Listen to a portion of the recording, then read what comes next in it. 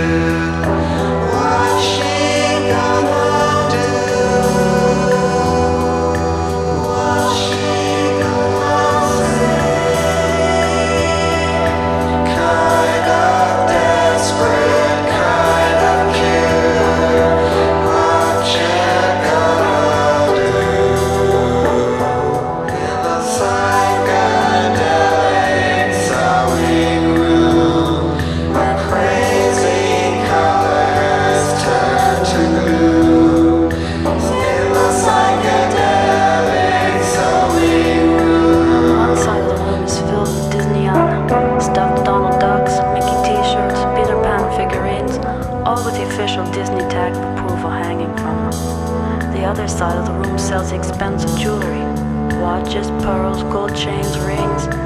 I pick up two miniature leather wallets that open up in several sections. Embossed in gold on the front are two men's names linked together in corporate matrimony. They are partners in a very high power blue chip conglomerate, and I'm told by the salesman that they've been buddies since childhood. They loved each other like brothers, the brothers they never had. Except recently there has been financial trouble within the firm, and each are accusing the other of double crossing them, bringing ruin upon the business. So each man has had the other wallet engraved with insults, etched into the expensive leather. To John, a two-timing scumbag. To Bill, the viper. On one of the display cases sits a suiban, a low shallow basin-type container designed for ikebana, the art of Japanese flower arranging. Suiban is filled with water, and inside is a tiny woman dressed in a brown monk's robe. She tells us that she is the second incarnation of Christ. She's furiously scrubbing a pair of miniature ceramic feet with a wire brush. The vigorous brushing turns the feet to brilliant shimmering brass.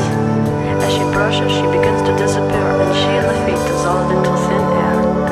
The water in the soy suiban slowly turns bloody. The water soon becomes pink, and two roses appear.